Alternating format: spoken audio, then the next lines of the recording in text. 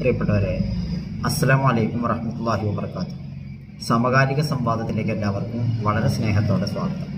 കൊച്ചിയിലെ ടാറ്റു സ്റ്റുഡിയോയിൽ വെച്ച് ഒരു പെൺകുട്ടി പീഡനത്തിനിരയാവുകയും അതിന്റെ നടത്തിപ്പുകാരനായ സുജീഷ് അറസ്റ്റിലാവുകയും ചെയ്ത സാഹചര്യത്തിൽ. അതുമായി ബന്ധപ്പെട്ട് കൂടുതൽ വെളിപ്പെടുത്തലുകൾ വന്നുകൊണ്ടിരിക്കുകയാണ്. ഈ സന്ദർഭത്തിൽ നമ്മുടെ കുട്ടികൾ ജീവിതത്തെ നോക്കിക്കാണുന്നതുമായി ബന്ധപ്പെട്ട ചില കാര്യങ്ങളിൽ അഭിപ്രായം പറയാനാണ് ഇന്ന് ഞാൻ ആഗ്രഹിക്കുന്നത്.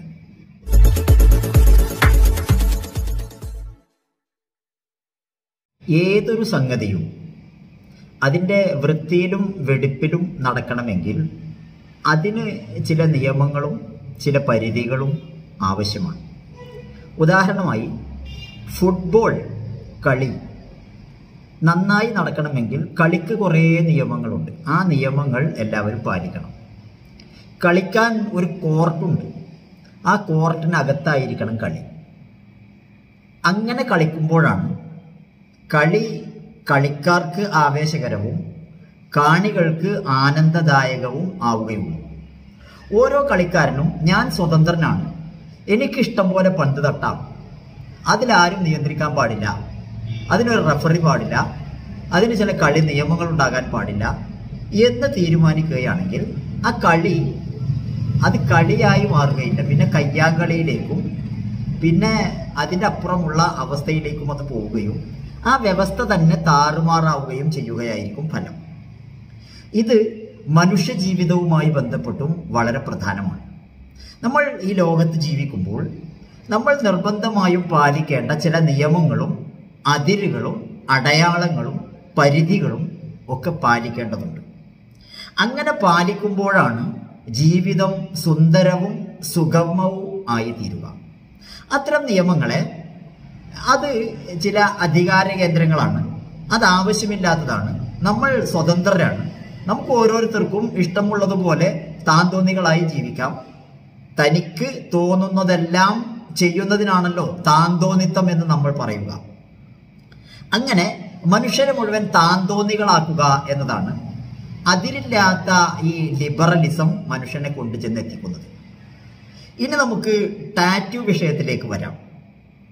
പ്രായപൂർത്തിയായ യൗവനം തുളുമ്പുന്ന പെൺകുട്ടികൾ നഗ്നരായി നിന്ന് തന്റെ ശരീരത്തിൽ ചിത്രപ്പണികൾ നടത്താൻ യുവാക്കളായ പുരുഷന്മാർക്ക് അനുവാദം നൽകുന്നു.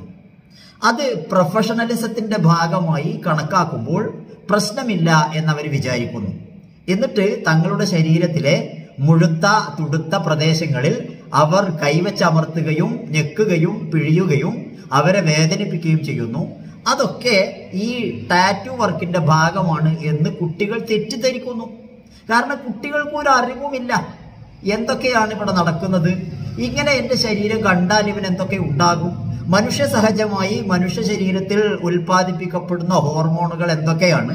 അതിനെന്തൊക്കെ കാരണമാകുന്നത്? അത്തരം ഹോർമോണുകൾ ഉൽപ്പാദിപ്പിക്കപ്പെട്ടാൽ ആ ശരീരം എങ്ങനെയെല്ലാം പ്രതികരിക്കും? എന്നിത്യാദി വിഷയങ്ങളെ കുറിച്ചൊന്നും ഇരുപതും ഇരുപത്തൊന്നും വയസ്സായ കുട്ടികൾക്ക് യാതൊരു ബോധവുമില്ല.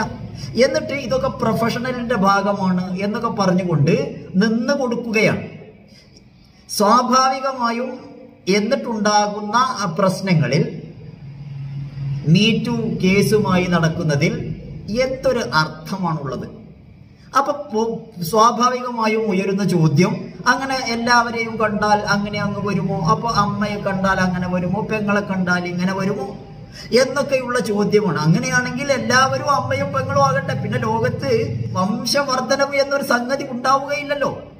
ജനിതകമായ ഒരു പ്രക്രിയ എന്നതിനപ്പുറം ഇതിന് ചില അതിന്റെതായ രസങ്ങളും അതിന്റെതായ ആനന്ദങ്ങളും എല്ലാം ഉൾക്കൊള്ളുന്നതാണല്ലോ ജീവിതം. അത്തരം രസങ്ങളും ആനന്ദങ്ങളും ഒക്കെ ലഭ്യമാകണമെങ്കിൽ ഇതൊന്നും കണ്ടാൽ ഒരു വികാരവും വരാത്ത മനുഷ്യനായി മാറണം ഒരുത്തൻ. അവനാണ് സമൂഹത്തിലെ ഏറ്റവും വലിയ ഉത്കൃഷ്ടനായ ജീവി. അവനെ എങ്ങനെ മനുഷ്യനായി കണക്കാക്കുക? അതുകൊണ്ടാണ് ഇതിലെന്തെല്ലാം കാണിക്കാം ആരുടെ മുമ്പിലൊക്കെ ഇത് പ്രദർശിപ്പിക്കാം ഇത് എങ്ങനെയൊക്കെ കാണിക്കാൻ പറ്റും? ആരൊക്കെ കാണിച്ചുകൂടാ? എങ്ങനെയൊക്കെ തൊടാൻ അനുവദിച്ചുകൂടാ? പ്രൊഫഷണലായി തന്നെ എന്തൊക്കെ ചെയ്യാം? അസുഖത്തിന്റെ ഭാഗമായി ചികിത്സക്കലാണെങ്കിൽ അതിന്റെ വിധികൾ എന്തൊക്കെ? ഇങ്ങനെ ചില നിയമങ്ങളും വ്യവസ്ഥകളും ചിട്ടകളും ഒക്കെ ഉണ്ടാക്കുന്നത് ഈ മീറ്റുവുമായി ആളുകൾ വരേണ്ട സാഹചര്യം ഉണ്ടാക്കാതിരിക്കാനാണ്. അത്തരം സംഗതികളെ മുഴുവൻ ആറാം നൂറ്റാണ്ടിലെ പഴഞ്ചൻ ആചാരങ്ങളായി കണക്കാക്കുകയും എന്നിട്ട് എല്ലാവരുടെ മുൻപിലും തുറന്നു നിൽക്കലാണ് പുതുമ എന്നും പുതിയ കാലത്തിന്റെ പുരോഗമനത്തിന്റെ അടയാളമെന്നും എന്നിട്ട് ഇതായോ മീട്ടു മീട്ടു ഞാനും പെട്ടു ഞാനും പെട്ടു. പുതിയ ഒരു അഭിരാമി സുരേഷ് ഇതുമായി ബന്ധപ്പെട്ട് നൽകിയ ഒരു അഭിമുഖത്തിൽ അവർ പറയുന്ന വർത്തമാനം ഇതുപോലെ പരസ്യമായി എനിക്കൊന്നും പറയാൻ പറ്റാത്ത അവസ്ഥയിലാണ്. എന്നിട്ട് ഞാൻ അങ്ങനെ വിചാരിച്ചില്ല അയാളെ കുറിച്ച് ഇയാളെ കുറിച്ച് ഇങ്ങനെ വിചാരിച്ചില്ല. അങ്ങനെയാണെങ്കിൽ ആ പറഞ്ഞത് ശരിയായിരിക്കും. ഇയാൾക്ക് ഇന്ന അനുഭവം ഉണ്ടായിട്ടുണ്ട്. പ്രായപൂർത്തിയായ പ്രായവും പക്വതയുമുള്ള അത്യാവശ്യം മെച്യൂരിറ്റി വന്ന പെൺകുട്ടികൾക്ക് തങ്ങളുടെ ശരീരത്തെ എങ്ങനെ സംരക്ഷിക്കണമെന്നറിയില്ലെങ്കിൽ അതിന്റെ ഏതോ ഭാഗത്ത് ചിത്രം വരക്കലാണ് ജീവിതത്തിന്റെ വലിയ പുരോഗമനം എന്നതാണ് എന്നതാണ് അവർ കണക്കാക്കുന്നതെങ്കിൽ എന്താണ് ഇതിനൊക്കെ നമ്മൾ പറയുക?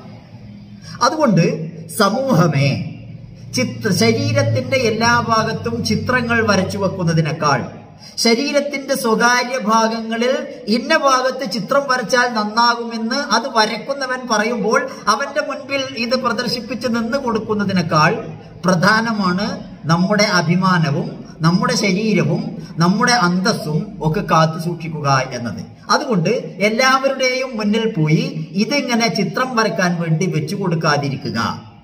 എന്നിട്ട് മീറ്റു എന്ന് പറഞ്ഞു വരുന്ന ഒരു സാഹചര്യം സൃഷ്ടിക്കപ്പെടാതിരിക്കുക. ഇതൊന്നും വലിയ ഒരു കലയുമല്ല. ഇതൊന്നും ഒരു ഒരു ആവശ്യമുള്ള സംഗതിയുമല്ല. ഇതൊക്കെ നയനഭോഗികളായ ആളുകൾ പെൺകുട്ടികളെ ചൂഷണം ചെയ്യണമെന്നും ലൈംഗികാസ്വാദനത്തിന് വേണ്ടി അവരെ ഉപയോഗിക്കാൻ എങ്ങനെയെല്ലാം മാർഗങ്ങൾ ഉണ്ടാക്കാൻ കഴിയുമെന്നും ഗവേഷണം നടത്തുന്ന ഒരു പുരുഷ പ്രജകളുടെ ഒരു വിഭാഗമുണ്ട്. അവർ സൃഷ്ടിച്ചു വിടുന്ന ചില സംഗതികളാണ് ഇത്തരം ടാറ്റുകളും ടീറ്റുകളും ഒക്കെ. ഇതിന്റെ പിന്നിൽ പെട്ടുകൊണ്ട് ഇതാണ് ജീവിതത്തിന്റെ വലിയ കാര്യം എന്ന തെറ്റിദ്ധാരണയോടുകൂടി ജീവിക്കുന്ന അവസ്ഥയിൽ എത്താതിരിക്കാൻ വളർന്നു വരുന്ന തലമുറയിലെ പെൺകുട്ടികൾക്ക് വിവേകമുണ്ടാകട്ടെ എന്നതാണ് ഈ സന്ദർഭത്തിൽ എനിക്ക് ഉപദേശിക്കാനുള്ളത്. അതോടൊപ്പം തന്നെ ഇത് പെൺകുട്ടികളെ മാത്രം ഇങ്ങനെ പറഞ്ഞു പറഞ്ഞ് പഠിപ്പിക്കുന്നതിനേക്കാൾ ആൺകുട്ടികൾക്ക് കൊടുക്കേണ്ട കുറേ പാഠങ്ങളുണ്ട്. ആൺകുട്ടികൾ കിട്ടുന്ന പെൺകുട്ടികളെയെല്ലാം തനിക്ക് ഞെക്കിപ്പിഴിയാനുള്ളതാണ് എന്ന് വിചാരിക്കാതിരിക്കുക. എല്ലാവർക്കും ഉണ്ട് അഭിമാനം. എല്ലാവർക്കും ഉണ്ട് ജീവിതത്തിന്റെ ആസ്വാദനങ്ങളും സ്വകാര്യതകളും അവരുടേതായ മേഖലകളും. അവരവരുടെ സ്വകാര്യതകളിലേക്ക് കടന്നു കയറാൻ ശ്രമിക്കാതിരിക്കുക. ടാറ്റു കലാകാരൻ തന്നെയാണ് നിന്റെ ശരീരത്തിൽ എവിടെയാണ് ഇത് ചിത്രം വരയ്ക്കാൻ നല്ലത്? അതിന് നീ എങ്ങനെയാണ് എന്റെ മുന്നിൽ നിന്ന് തരേണ്ടത് എന്ന് പറഞ്ഞു കൊടുക്കുകയാണ്. ആ അത് കേൾക്കുമ്പോഴേക്കാ എന്നാ അങ്ങനെ പറഞ്ഞ ചെയ്തോളൂ എന്ന് പറഞ്ഞുകൊണ്ട് വെച്ചു കൊടുക്കുന്ന ആ സാഹചര്യം ഇത് നിങ്ങളെ പാട്ടിലാക്കാൻ വേണ്ടി നിങ്ങളെ ചൂഷണം ചെയ്യാൻ വേണ്ടി ഉണ്ടാക്കുന്നതാണ് എന്ന് നിങ്ങൾ തിരിച്ചറിയുകയും. അങ്ങനെ കിട്ടുന്ന പെൺകുട്ടികളെല്ലാം തനിക്ക് ഞെക്കിപ്പിഴിയാനുള്ളതാണ് എന്ന് വിചാരിക്കാത്ത ഒരു സമൂഹമായി നമ്മുടെ ചെറുപ്പക്കാർ മാറി വരികയുമാണ് ചെയ്യേണ്ടത്. അതിന് സ്ത്രീ ശരീരത്തെക്കുറിച്ചും ലൈംഗികതയെക്കുറിച്ചും ലൈംഗികതയെക്കുറിച്ചുമൊക്കെയുള്ള കൃത്യമായ പാഠങ്ങളും വിദ്യാഭ്യാസവും വളർന്നു വരുന്ന യുവതലമുറകൾക്ക് അഥവാ നമ്മുടെ ആൺകുട്ടികൾക്കും ഇതിനെക്കുറിച്ച് കൃത്യമായി പഠിപ്പിക്കുകയാണ് വേണ്ടത്. ഇനിയും ഇത്തരം സുജീഷുമാർ ഇത്തരം ടാറ്റു സ്റ്റുഡിയോകളുമായി വല വിരിച്ച് കാത്തിരിക്കുന്നുണ്ടെങ്കിൽ അവർക്ക് നിരാശയായിരിക്കണം ഉണ്ടാകേണ്ടത്. അതോടൊപ്പം മറ്റുള്ളവരുടെ അഭിമാനത്തെ സംരക്ഷിക്കുവാനും അവരെ തനിക്ക് ചൂഷണം ചെയ്യാനുള്ളതല്ല എന്ന് തിരിച്ചറിയാനും വളർന്നു വരുന്ന ചെറുപ്പക്കാരും മനസ്സിലാക്കുകയും അത് പ്രാവർത്തികമാക്കാൻ തയ്യാറാവുകയും വേണമെന്നതാണ് ഈ സന്ദർഭത്തിൽ എനിക്ക് ഉപദേശിക്കാനുള്ളത്. എന്നെ ശ്രദ്ധിച്ച എല്ലാവർക്കും നന്ദി നമസ്കാരം. അസ്സാം വലൈക്കും വറഹ്മത്തുള്ളാഹി വബറകാതുഹു.